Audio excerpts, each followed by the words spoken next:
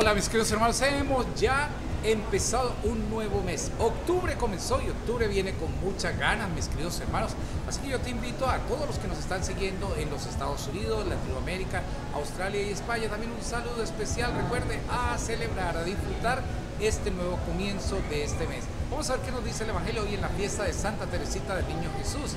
El Evangelio es tomado de San Lucas 10, 13, 16 y nos dice, en aquel tiempo dijo Jesús, ay de ti Corosaín, ay de ti Bethsaida, si en Tiro en Sidón se hubieran hecho los milagros que en vosotras hace tiempo se habrían convertido vestidas de sayal y sentadas en la ceniza, por eso el juicio les será más llevado a Tiro y a Sidón que a vosotras. Si tú, Cafarnaún, piensas escalar el cielo, bajarás al infierno. Quien a vosotros os escucha, a mí me escucha.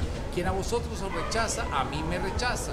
Y a quien me rechaza a mí, rechaza al que me ha enviado. Palabra de Dios. Sí, queridos hermanos, no podemos rechazar a Cristo. Cristo tiene que ser para nosotros el motivo de vida. Así que en este primer mes que hemos empezado, qué bueno que tú pudieras dejar que Dios tomara control de tu vida.